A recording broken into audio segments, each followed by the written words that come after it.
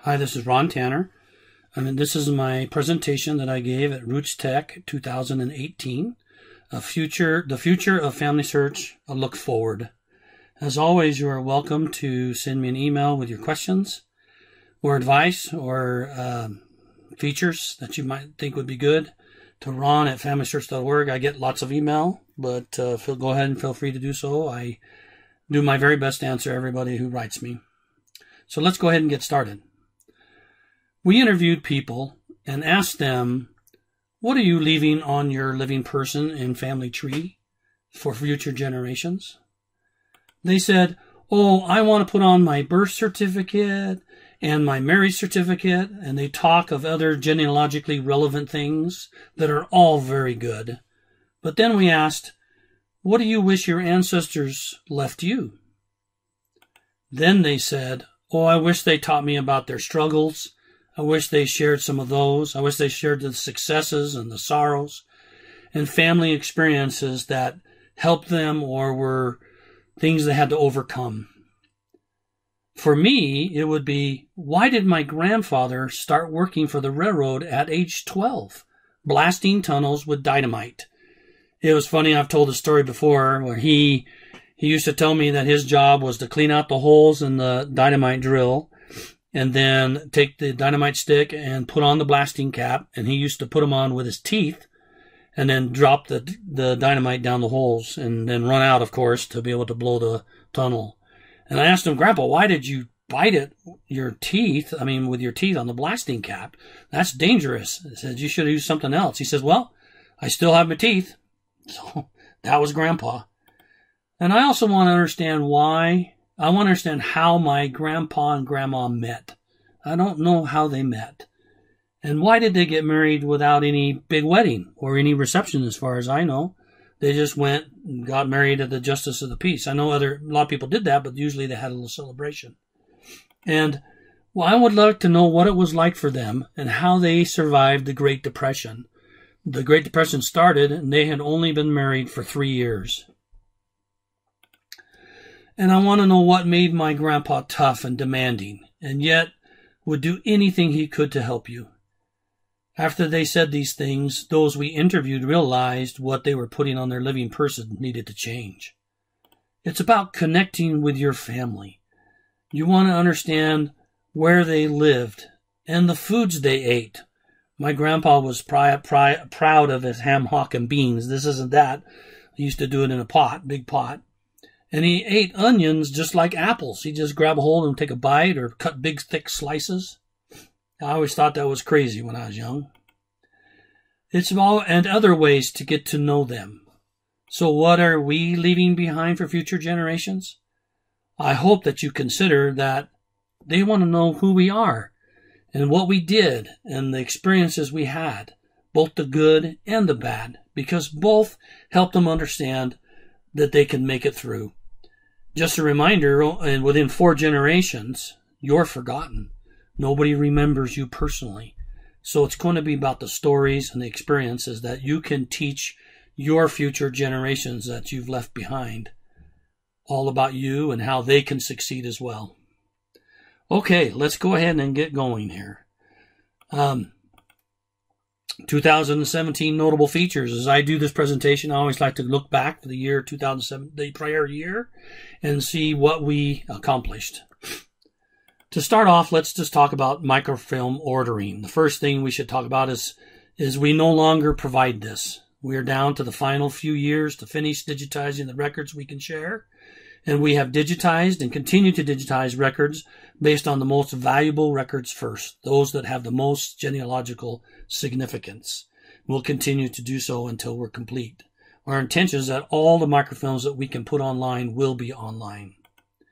If you want to keep track of the collections and see what's been recently released, there is a place you can go to. We not only have it on a blog, but we you can also look at it right in FamilySearch. You can go to familysearch.org, go to search, and then choosing records. Then down at the bottom right, you have browse all published collections. Click on that. And then you'll see a list of all of our historical collections, both indexed and image only. And all you have to do is click on the last updated column, that last updated blue button, and that will reorder the collections to show you the most recently released ones at the top. The ones with the asterisks, the ones that are recently added. This is always constantly being updated, and you just come back and look and see if the records you're searching for are there. We also are now offering web-based indexing, and lots of people are excited and happy with this. The indexing de- desktop program has been a great success over the years, and with your help, it has provided billions of names for our users.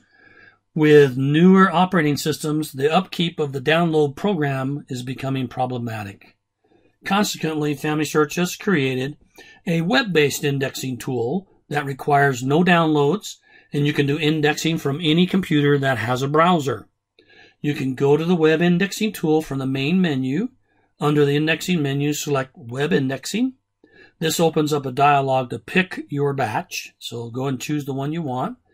And then you are given project instructions. Once you read through those, then you begin to index the data in the images. If you need to, just like you did in the other tool, if you need to stop, just leave the browser.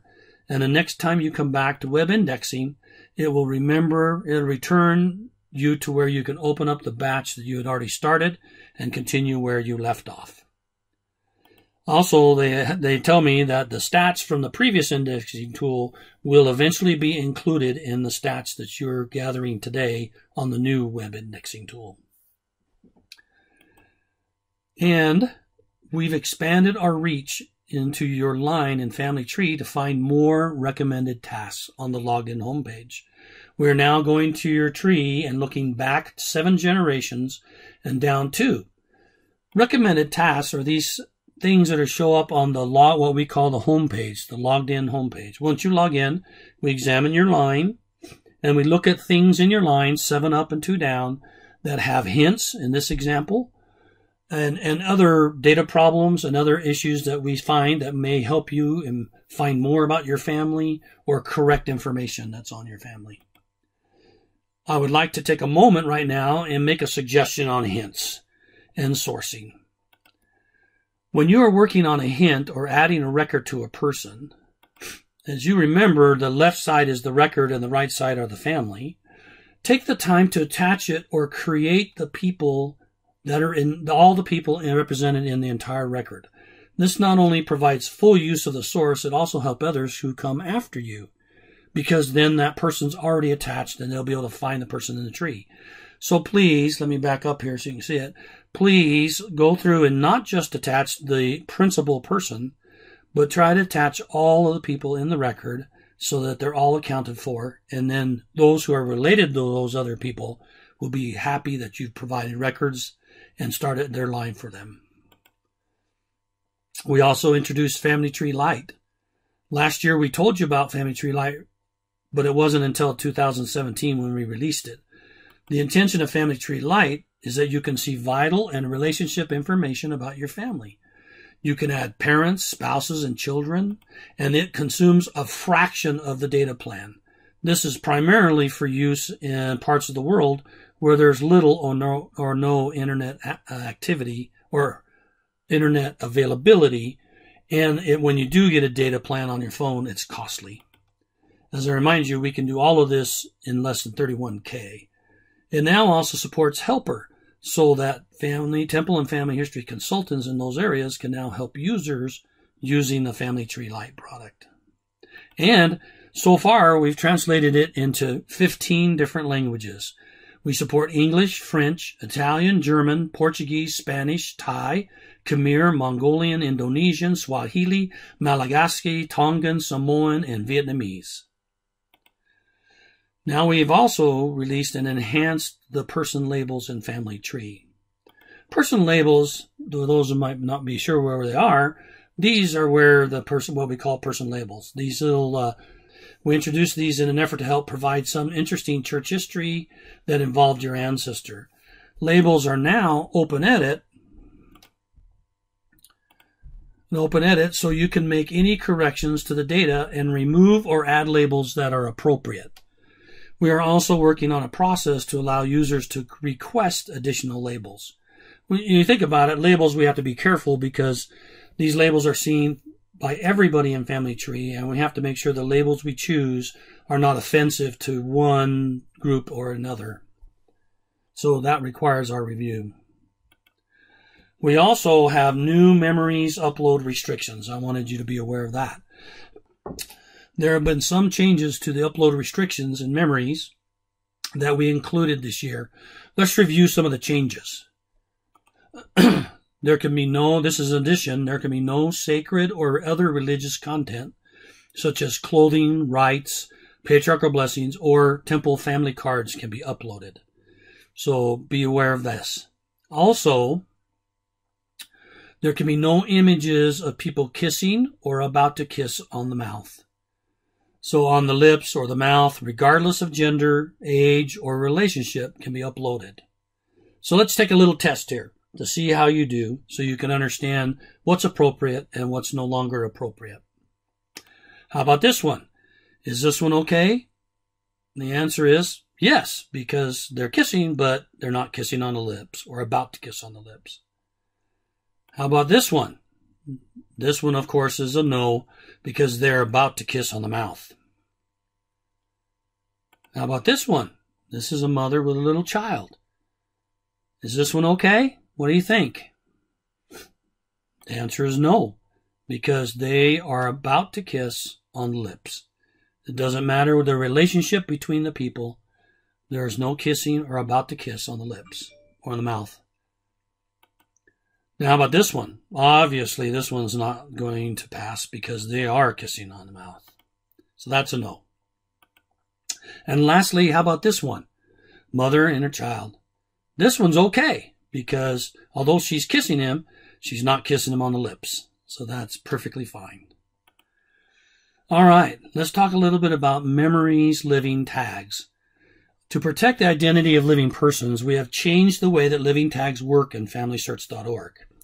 For example, here's a picture of my mother and father. I put in the tags for both of them on this picture. When I was young, I was surprised to find out that they were dance directors in their day and taught dance classes across LDS stakes. And this was a picture of one of their dance trainings, I guess. My dad is still deceased, but my mom, when I took this, when I did this screenshot, was still living. I both, I see both tags because I put them in.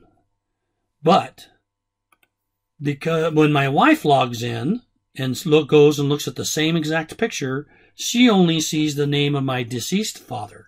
She does not see the name or people entry for my mother because she is still living.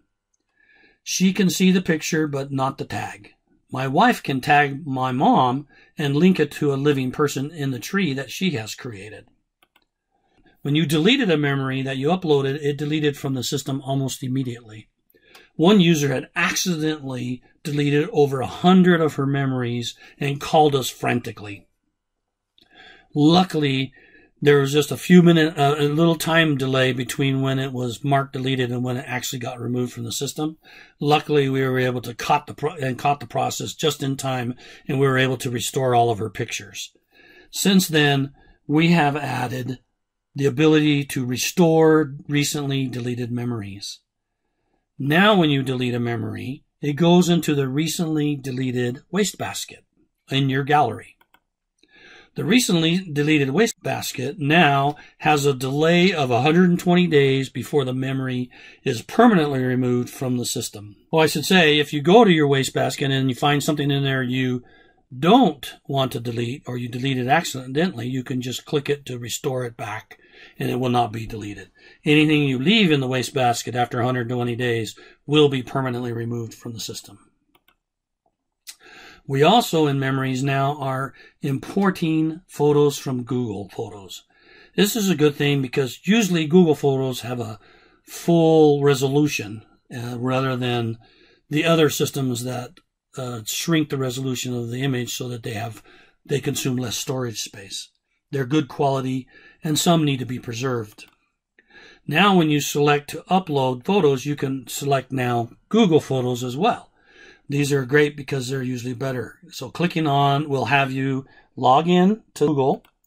And then once it is brought up the list of photos, select the ones you want and click import. and they will be pulled into your gallery. Now let's check out some new mobile features we've added.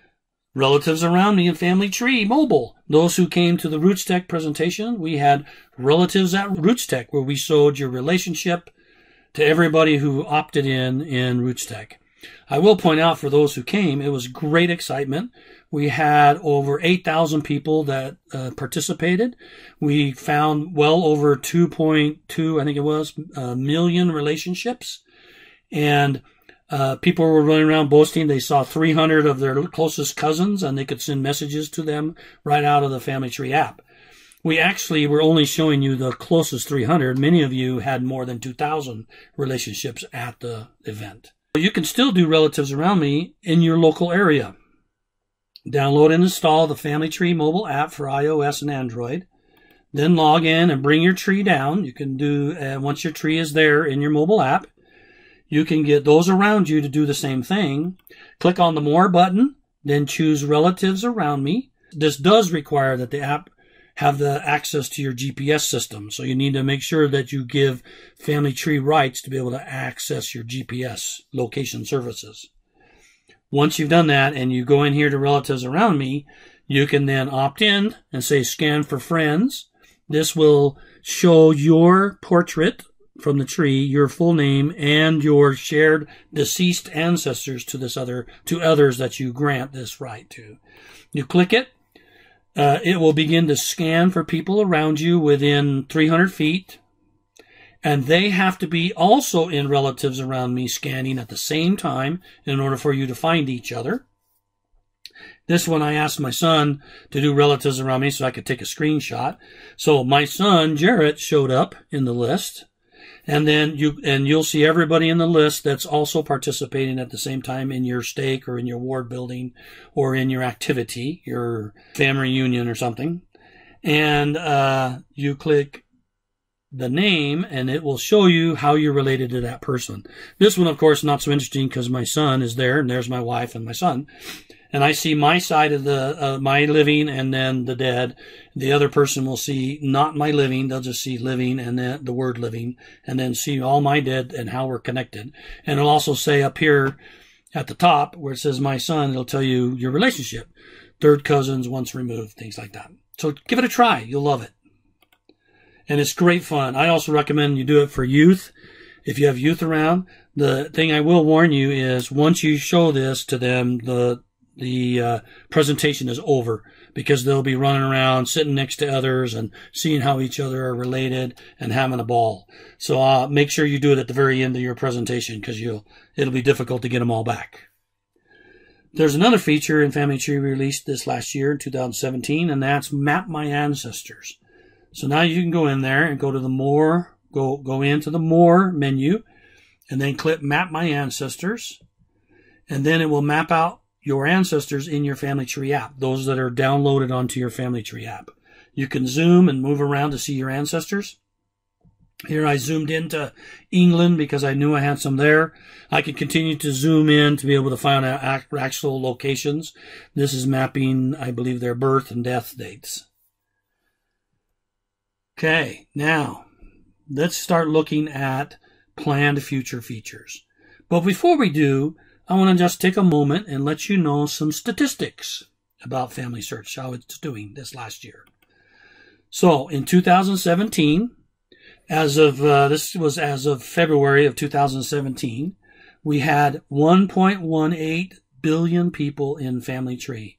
This is because of your great efforts and your great additions that we've been able to achieve this thank you very much. And can, I hope that it continues to be a place where you feel comfortable sharing your ancestors and working with your relatives. People are adding 3.8 million new persons per month. We have 915 million sources. People create 5 million sources a month.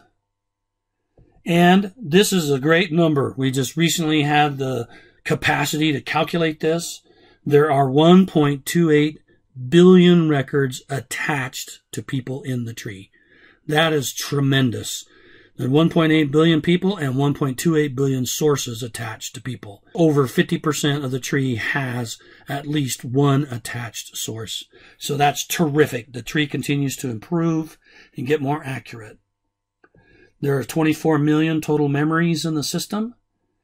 We now have we're now offering 6.2 billion searchable names in the historical records that you can come search for, or even better, put your tree in the family tree and tie it into everybody else's in the in the same tree, and we'll start searching those 6.2 billion records for you, and then show you hints where you can. We'll just search all the six billion to see if we can find matches. Historical record images, we are up to 1.25 billion historical images available and we publish annually approximately 270.5 million records every year. Okay, so that's great stats, but I wanted you to kind of get a feel for where we are in 2017. Now, we are working on ways to accelerate the release of historical record images and indexes as they are so vitally important to help us discover our ancestors. When images are captured from cameras, Volunteers come and review what records are at risk. These are real live pictures of places that we're doing right now. They review the records, they prioritize the information to capture the most important first, those that have the most genealogical value and are greatest to be lost because of the damage. Then the volunteers take high resolution pictures of the records, and these are stored on a hard drive that is then sent to Salt Lake City to be processed. I found this particular image that I'm showing you next in an actual uh, set of digitized images that were sent to Salt Lake. Here you go. Looks like from time to time we, they must work really hard to get these records imaged because here's a lady that fell asleep while the camera was still capturing. I think that's great. When the images arrive, we preserve them and then they wait to be processed. Sometimes this could be a long process. In some cases, we've had several years later before we can get the images onto the system. Well, our goal this year is to have the images on FamilySearch as a browsable image collection within 24 hours of when that hard drive arrives in Salt Lake City. And then to help you find these images, instead of having to browse every single image that come in, because we're talking about millions of images. We want to provide you a new way to search through images. And if we cannot find the index version because we haven't done them yet, then we'll maybe provide you a image search. For example, let's say if you entered in someone's first and last name and the area, Peru, and the year span, we can't find any index versions or can't find good ones, then what if we showed you, uh, show you the collections that appear to be about that person or that area in the time span that you gave us. And then now you can just go look at those 18 images of the best match or the 29 images in the next line or the 82 images. That's better than having to search through hundreds of images, at least to narrow it down to be able to find your ancestor more quickly. So we're working on this new search capability.